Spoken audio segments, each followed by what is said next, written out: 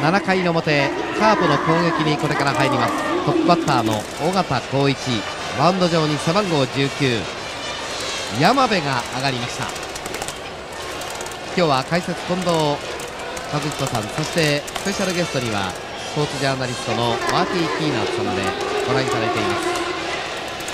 近藤さん、山部もこういう場面での起用が今シーズンは多いんですが増えましたね、えーはい、ただ東北のゲームではちょうどローテーションの谷間というところで山部が先発してなんとか打線のゲームがあって2つ勝ってるんですねただローテーションに定着できないというところが今シーズンはありますただここはしかしピッチャーとしてもやりがいのあるところでのリリーフになりますね。そうですね、えー、もうこの1イニングでもいいんですよね。はい。えー、まああの先ほど栗村さん言われたように、まあ山本とか、はい、広田がね、ちょっと登板方で、えー、えー、どうかなっていう心配もあるんだけど、はい、もう今の時期オールスターまで、えー、あと4試合ですか。えーもうそういうこと言ってないで、まあ、早く5割に到達するように、はい、あの勝てるゲームはあもうきっちり勝そういう作戦でいっていいんじゃないかな。そうですね。うん、だからオールスターの休みでまたそういう肩疲労は癒せますからね。えー、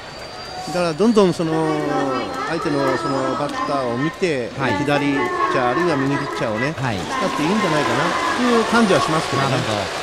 15日のジャイアンツ戦での3番手のリリーフは3イニングでヒット4本三振にゲームを壊さずにリリーフとしては合格点をもらえた山部。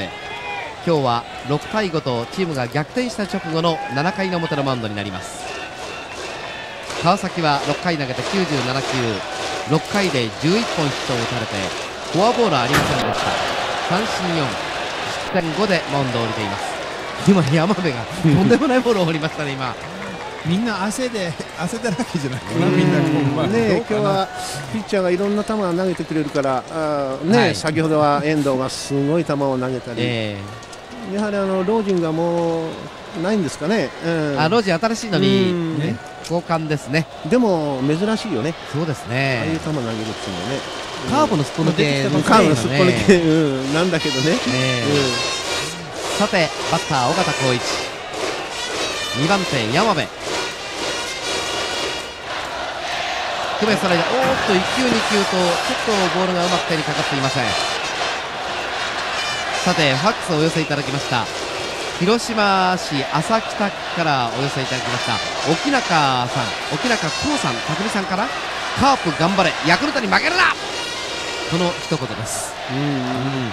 これはもうミンチに勝利をやってほしかったということなんですが、ミンチもマウンド降りてます。ミンチは3回で3失点でマウンド降りています。カープファンの沖中さんもこのスカイスタジアムでカープを応援なさっていますさあカープは1点リードを逆に取られました。尾形からの攻撃。4球目はハウスイングは振ってないボールワンスリー。まあ栗村さんも広島出身だからね、はいはい、広島のカープのファンっていうのは熱狂的ですからね、そういった意味で、まあ、はい、非常にあの広島ロードに弱いんだよね、はい、そうですね。だからファンの方がやはりどうしてるかなって気になるのよ。うん、気にされてますよね。うん、えーまたしかし広島カープでああ先頭打者の尾形 フォアボール。山部はストライクにという気持ちで今のボール判定を待ったんですがボールの判定に意外な表情を見せました。あ今度はもう小谷コーチが電話にかじりつきました。これ山部の状態見てこれはまずいぞと思ったんですかねこれ。ね初球が、まあ、あボールが滑ったということも言えるんだけどとんでもない冒頭ですよね、ボールですよね、はいうん、なんかブルペンではね、はい、ずいぶん前から投げてましたけどね。これ近藤さん一塁側で高津が始めていますがこれは今が投げ始め始めストッパーのまず最初の調整に入っているところでそうですねだから9回、えー、あるいは9回、8回のツーアウトぐらいからぐらいですよね、早くてもね。ですよね、早くてもね。ということは今、小谷コーチが電話へということはもう一人、地球作ろうということです。おっと、抜けてます、ボールが。当に今日はまちまちですね。この人やっぱりあの2桁勝利を挙げた後肩痛めましたね。だからこういうボールが出てくるとドキッとしますね。やっぱり大丈夫だろうかという。2桁勝利でヤクルト優勝に貢献したピッチャーでもあります。山部。肩を痛めて1トンザですが今シーズンは16試合目の登板2勝1敗。古田がすかさずマウンド行きます。これ今日取ってるキャッチャーも心配ですよねこれねあの いつもの山々と違うからね、うん、どうしたんだっていうことでしょうね、えー本田さん、今あの広島カープのファンは熱烈ということ言いましたけども、はい、いいことですね、その各地域ね、アメリカの場合はね、うん、地域によってはその地域の、うん、そこのチームのファン、考えてみると当たり前当たり前、でもあの広島の場合はね、本当にそれがね、今からもうずっと何年もここまでね、えー、あれ、二十何年にカープができてからずっと50周年です、今年ね 50, ね50周年だからね、まあ、お父さん、はい、子供孫さん、えーあたりまでがねもうカープなんですよ。そうなんですよね。広島はね。とてもいいことですよ。ね。うん。それとまたあの広島カープというのは高校出身の選手をドラフトで取ってきて、うん、それでそれから鍛えて鍛えて選手に仕上げていくんですね、うん、ですからやっぱり愛着も湧いてくるわけですね。そうですね。それと結構この九州の方からいい選手をね多いですね、取ってくるんですよ。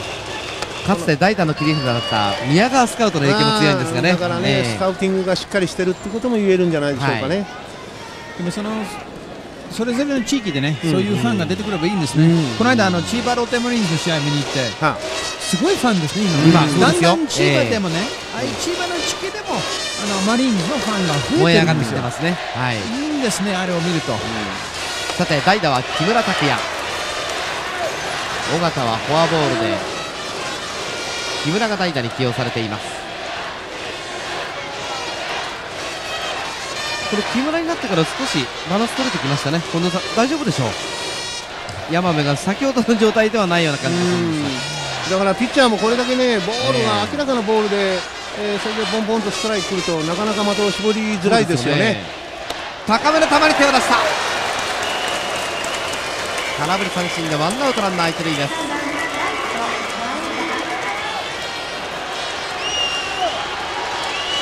ね、こういうボール振っちゃうんですよね。うん、まあ木村東ではね、えー、先にヒット打ったんだけど、はい、うんセーフティーバントするとかいろんなことを考えりゃいいタイプのバッターだけにね、ね。この強振した三振がね、あとどのようになるかですよね。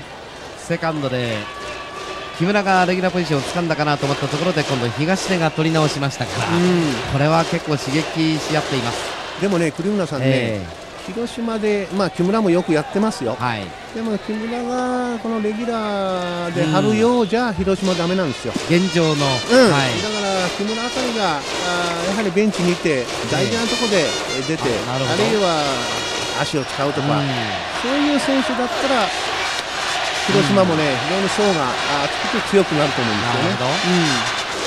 さて前田です。初球は高めへ抜けるボールでしたちょっとだけの魚じゃないですね。そうですね。すごいですね。ばらつき。はしごがいきますね。古田よく取ったっていうことですね。でもこれでストライクを簡単に取りに行くと危ないですね。前田には。6対5、ヤクルト1点リード。逆転してから7回表からは山部。詰まった。打ち上げたセカンドフライ。ずいぶん滞空時間馬場が落としてそしてショートへボールを送られて一塁ランナーがアウトランナーが変わりましたいや私ねふっと今ね、えー、ランナー帰ろうと思ったんだけど、えー、今の意識はしてませんね今のは意識じゃないですよ馬場はもうね取りに行ってるね取りに行ってますよね滞空時間が長かったです。いやこれね。単純ミスですね、ま、前田の方がほら尾形よりは足がほら今悪いでしょ、えー、そういうなんか昔のプレーヤー古いことやりましたよね、はいはい、ただ人工芝だからねあれができないんですよ。跳ねちゃうからね、はい、今恥ずかしそうな顔ですから、ね、うん、今取りに行ったね。僕はね、はい。うん、わざとやるんだったら前に落とすはずなんだよね。後ろに落としてね、うん馬場落球でしかしそのボールをショートへ送って一塁ランナーがフォースアウト。バッター江藤空振り。一塁ランナーが足に不安のある前田に変わりました。そしてバッター江藤です。